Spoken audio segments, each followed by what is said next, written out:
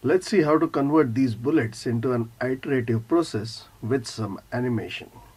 We right click and convert to the iterative process smart art. It's called basic cycle. This looks nice. Each step in the process is a different activity. So let's put different colors. Now let's give them a little bit of 3D look. It looks nicer. Now looks like we have finished the diagram. But if you present this, it does look like a process. But the fact that it is an iterative process means it has to happen again and again. It has to repeat. Unfortunately, visually, the diagram is static. So for it to work, we have to make it move.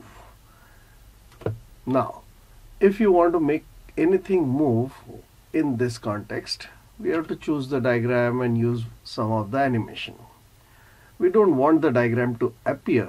It is already there. We just want it to rotate. That's called spin. Unfortunately, when you do that, it spins in the wrong way because by default, when you apply any animation to any smart art, it is applied as a single object. Now, if you go to effect options, yes, there is clockwise or anti-clockwise, how much spin, but at the bottom, there is something called as one object, which is the default. That's what happened just now. It's not one by one, which we want. We want all at once. But even that is not going to give you what exactly you wanted. When you say all at once, individual objects in the diagram get that animation. So they are now spinning independent of each other. So this is no good. So let's remove this animation. So I'm just going to remove it. What we really need is to somehow select these arrows and group them and these arrows have to rotate. The individual boxes do not have to rotate. Unfortunately, we would need to group these and when you right click there is no group option because these are not isolated shapes. These are part of a smart art within a smart art you do not get group option because it's already grouped in that sense. So now we are really stuck. From simple text bullets, we have already got a nice iterative looking diagram. So that was the job of smart art.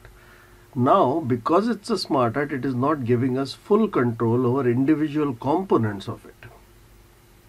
Now, if you want individual control, you need to convert this smart art to something which is just a collection of shapes. And how do you do that?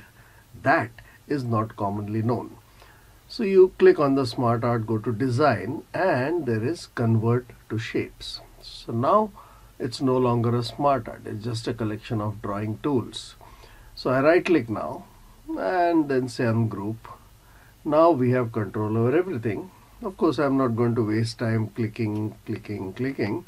There is a smarter way. Just draw an imaginary rectangle. Anything which is inside the rectangle gets selected. Now I'm going to group. Control G is the shortcut by the way. And now I'm going to apply spin animation. Of course, it's not that simple because by default the animation which is applied is going to be applied only once. There is no repetition we want it to repeat so we say until end of slide. Now although this is nice there will be one small problem left to be addressed. Notice this is a blue circle and a blue arrow. Right now they are clearly visible but when it rotates notice what happens. When the blue arrow goes inside the blue circle it almost becomes invisible. We don't want that.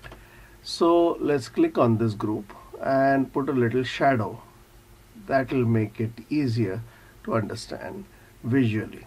So you go to shape options shadow. We'll choose black shadow at whatever 45 50 degree angle and with little bit of extra depth and blur. And that should do the job. Now the current rotation is happening in 2 seconds. We will reduce the loop to say 0.7 seconds and then it will look much nicer. That's how you create an iterative process visually.